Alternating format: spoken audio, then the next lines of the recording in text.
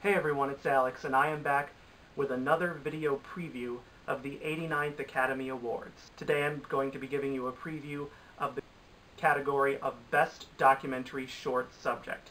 The goal of Best Documentary Short Subject is to honor the best documentary whose runtime cannot be longer than 40 minutes. There are two categories at the Academy Awards honoring documentaries. Best Documentary Short Subject, which honors documentaries that are no longer than 40 minutes, and Best Documentary Feature, which honor documentaries that are at least 40 minutes. Best Documentary Feature will be the subject of the next video coming out after this. But today we're going to be looking at the, the documentary shorts that are eligible in this category. And due to the uniqueness of this category, there are a lot of rules in terms of eligibility requirements.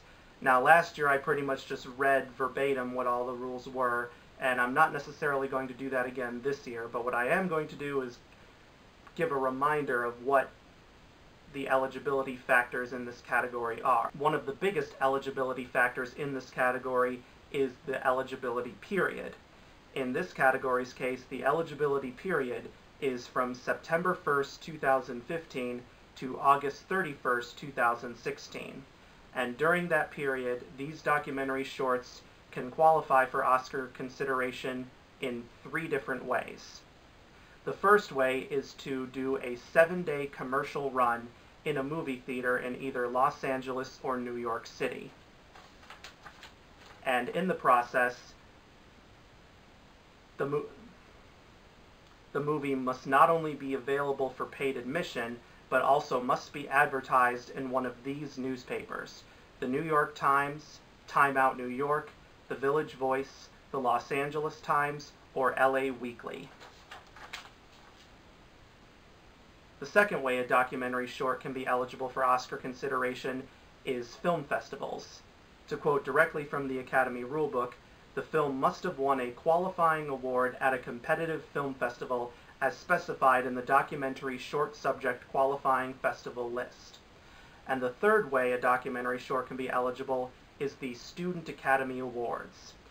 Uh, to quote directly from the Academy rulebook, the film must have won a gold, silver, or bronze medal award in the Academy's 2016 Student Academy Awards competition in the documentary category. And then the final rule of eligibility is the nature of the documentary itself. If a documentary film is basically a promotional or instructional video or is basically an unfiltered record of a performance in, in which we just watch somebody act or sing or do something else and there's no commentary about it, no look in how the person prepares to do what they do, then it's not eligible. The film must be an examination or a commentary on the issue it's portraying.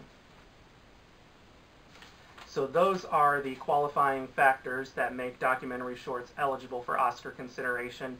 And now let's get on to the eligible contenders themselves. According to the Academy press release, 61 contenders were submitted to the Academy for consideration.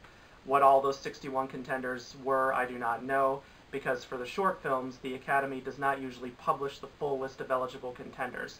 For other categories like documentary feature, original score, original song, makeup, and best picture, they will publish the full list of eligible contenders, though. But from the 61 eligible contenders, 10 semifinalists have been chosen by the members of the Academy's documentary branch. And from these 10 semifinalists, Five of them will become the official nominees for Best Documentary Short Subjects. Here are the 10 eligible contenders. Brillo Box, 3 cents off. Close Ties. Extremis. 4.1 miles. Frame 394. Joe's Violin. The Mute's House. The Other Side of Home. Watani, My Homeland.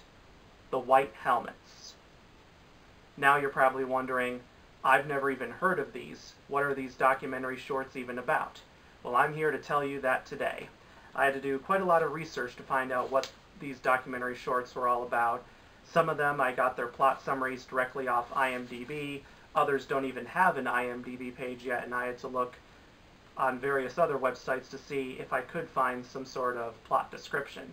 But luckily I have managed to find plot descriptions for all of these eligible shorts, and I'm going to read them to you right now. So here are what all of these documentary shorts are about. Brillo Box 3 cents off. Brillo Box 3 cents off follows a beloved Andy Warhol Brillo Box sculpture as it makes its way from a family's living room to a record-breaking Christie's auction, blending personal narrative with pop culture and exploring how we navigate the ephemeral nature of art and value. Close ties. 45 years of marriage is an impressive anniversary. Barbara and Zdzislaw, I'm not sure if I pronounced that correctly because uh, this is about a Polish couple, just could be proud of themselves if not for the fact that the husband left the wife for his lover eight years ago. But now they are together again, although Barbara claims that if it were not for his infirm legs, Zdzislaw would still be chasing skirts around Krakow. Despite the past resentment, everyday problems with paying bills, an occupied bathroom, and rearranging furniture, they have a hard-to-define bond. Uh, if anybody who's from Poland or is of Polish descent can correct me on the pronunciation of Zdzislaw, if that is indeed the, the correct pronunciation, please let me know in the comment section. Alright, moving on. Extremis. Witness the wrenching emotions that accompany end-of-life decisions as doctors, patients, and families in a hospital ICU face harrowing choices. 4.1 miles. A day in the life of a Greek coast guard on the island of Lesbos, who was caught in the middle of the biggest refugee crisis in history since World War II. Frame 394. Frame 394 follows a young man from Toronto who entangles himself in one of America's most high-profile police shootings. Joe's Violin. A 91-year-old Holocaust survivor donates his violin to an instrument drive, changing the life of a 12-year-old schoolgirl from the Bronx and unexpectedly his own. The Mute's House. A building in Israeli Hebron, which has been deserted by its Palestinian occupants, is called the Mute's House by the Israeli soldiers stationed there and by the tour guides who pass by daily. The building's only occupants are a deaf woman, Sahar, and her eight-year-old son, Yusuf. The family's unique story in the midst of the Israeli-Palestinian conflict unfolds through the eyes of the young and charismatic Yusuf as he goes through his daily routine on both sides of the torn city. The Other Side of Home. In 1915, an estimated 1.5 million Armenians were killed by the Ottoman Turks during the Armenian Genocide. In 2015, a Turkish woman named Maya discovers that her great-grandmother was a survivor of the Armenian Genocide. Maya embodies the conflict as she has two enemies living in her body, one side that suffers and the other side that denies. The documentary follows Maya as she decides to go to Armenia to take part in the 100th commemoration of the genocide and to explore her conflicted identity. Watani, My Homeland. Hamoudi, Helen, Farah, and Sarah are the young children of Free Syrian commander Abu Ali Sliva.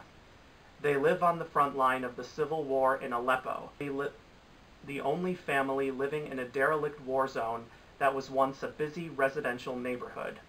After Abu Ali is captured by ISIS, the family is forced to flee their homeland and to start a new life in a small medieval town called Goslar in Germany the White Helmets. After five years of war, over 400,000 Syrians have been killed and millions have fled their homes. In areas out of regime control, those who remain rely on a group of volunteers dedicated to saving anyone in need. They search for survivors among the wreckage as bombs continue to fall. And those are the eligible contenders for Best Documentary Short Subject. What the five official nominees will be, I have no idea. But uh, but all of these documentaries personally seem fascinating to me.